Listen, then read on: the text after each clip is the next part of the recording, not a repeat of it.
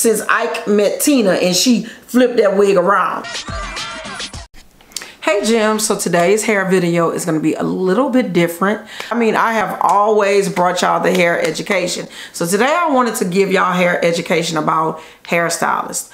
A lot of people are, ever reason, saying that hairstylists are out of style. Some people are up here and they're saying that wigs are out of style, right? So I wanted to address these two topics. Are hairstylists going out of style?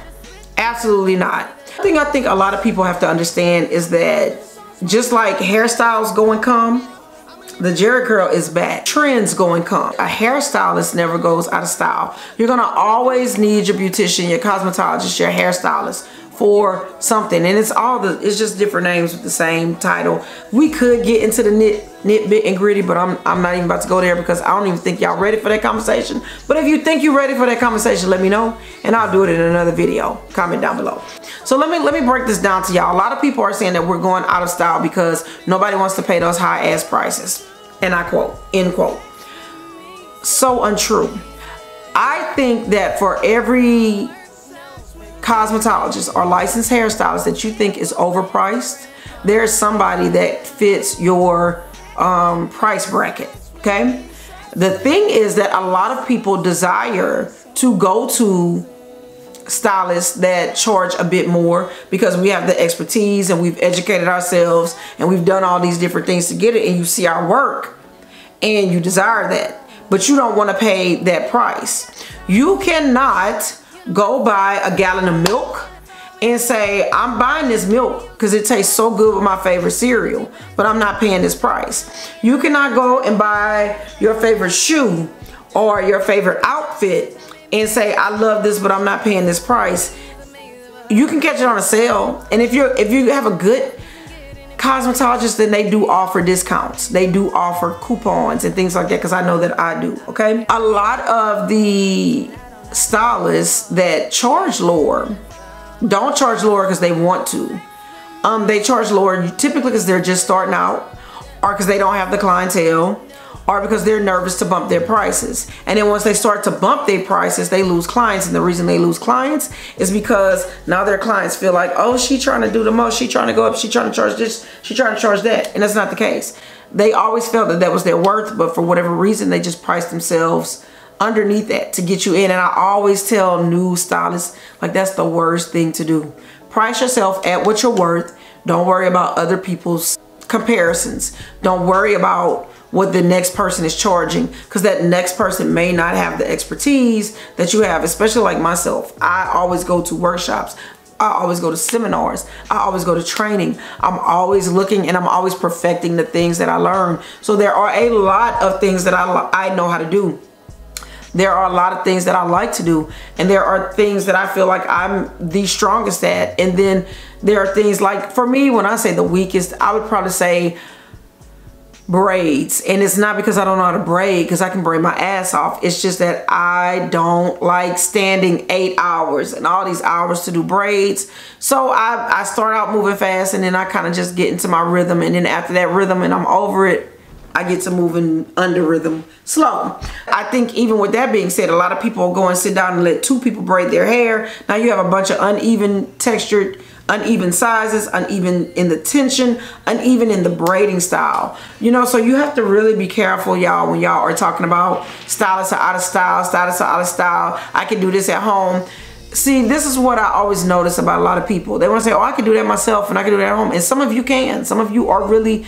talented and can do it yourself. But what does the what does the underlying hair look like? Are you taking care of your hair properly? Because to me i feel like the only reason wigs are going out of style which i feel they're not a wig will never go out of style Lace wigs will never go out of style. Wigs will never go out of style. Wigs been in style since I was a little kid and your, gra and your grandmama was wearing them backwards, okay? Since Ike met Tina and she flipped that wig around. That's how long wigs have been in style. So lace wigs have been here when people get on, on big screens and movie screens and it's just convenient for them to do. They are not meant to sleep in like that. They're not meant to wear on your head all this time. And I don't know how many times I can stress this and tell y'all about this, but this, I'm trying to give y'all the truth all that that glue it's meant to be a very temporary thing These celebrities are not walking around with their wigs glued on for the whole week. Unless they are doing like back-to-back -back sets and stuff like that. And please believe they got somebody that's reapplying and taking it off and everything like that. I think in the comfort of our own homes, we're feeling, oh, I can lay my wig. I can this, I can that. Me personally, I don't like my wigs real flat. It don't look realistic to me. I like my wig to have a little, little volume because my hair, think about it. When do you ever wear your hair flat? Even with a bone straight uh, press out or, or blowout. Your hair still has volume to it. So I'm not looking for my wig to be like this. I'm not. I think that they people are saying that wigs are going out of style because everybody's tired of seeing the same thing. Everybody has the same look, and I've been saying this for over a year. Everybody got the baby hairs. Everybody styling their wigs the same. It went from used to having like a, a wider part to now you really don't have a part to now they sticking stuff underneath the thing to give you a, a skin-like part. It's just it's so much.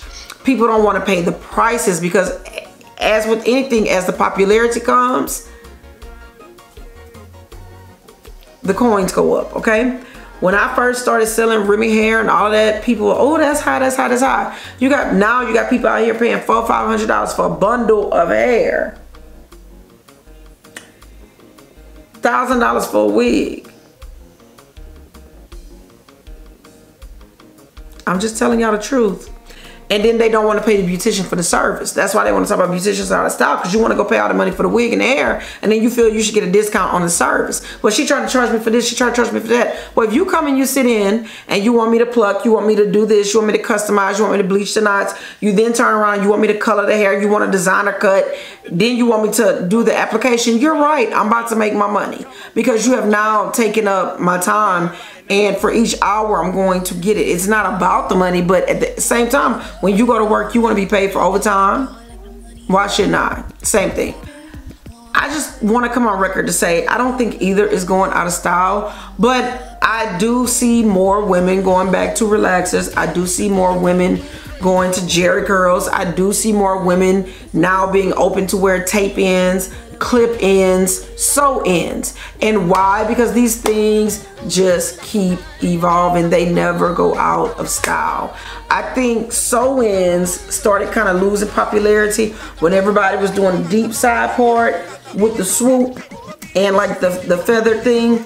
I think it also kind of went out of style when everybody started doing the Farrah Fawcett haircut. Y'all remember that with the curtain bangs and they was flipping their heads upside down and all that.